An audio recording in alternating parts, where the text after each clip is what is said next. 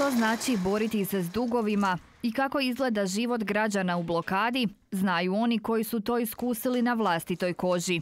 A takvih je u Hrvatskoj još uvijek velik broj. No i dalje ima i onih koji nikada nisu bili u blokadi. Jeste vi imali kad iskustvo da eto budete u dugu pa nekakva ovrha dođe, nekakav račun neplaćen? Nastojim da ne budem u dugu, a nikad ne zna čovjek šta se može dogoditi da i uđe u dug.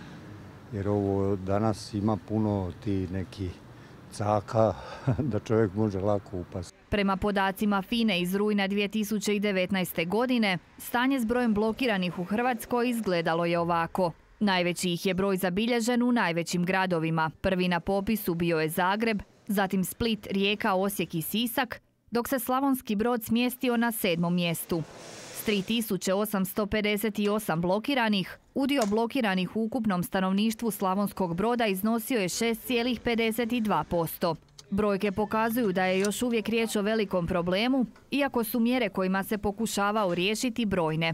Novim ovršnim zakonom, kažu iz udruge blokirani, nisu zadovoljni, no pomaci ipak postoje. Kao udruga blokirani e, rekao sam već da nismo zadovoljni sa predloženim zakonom, iako je dobar dio naš, naših e, prijedloga uvršten u, novi ovršni zakon. Sad su uključeni i tu i obrtnici i ovaj i slobodni, slobodna zanimanja, dakle njih se više neće moći ovršavati u cijelosti. Ovaj, druga stvar koja je nama iznimno jako bitna i važna je dakle što su srezani javnobilježnički troškovi i odvjetnički troškovi. I treća je isto tako jako bitna stvar što smo otprilike uh, po bivšem članku 172 gdje su propisana sredstva koja su izuzeta od uh, ovrhe, dakle ona su sa negdje 8 uh, uh, pre, uh, prebačena na 20 i otprilike 22 stavke. U Brodsko-Posavskoj županiji ukupan broj blokiranih bio je 9025. Što se njihovog ukupnog duga tiče iznosio je oko 484 tisuće kuna, a po broju blokiranih naša se županija smjestila na 12. mjestu. Je li opraštanje dugova način na koji se ovaj problem treba rješavati, građani nisu sigurni.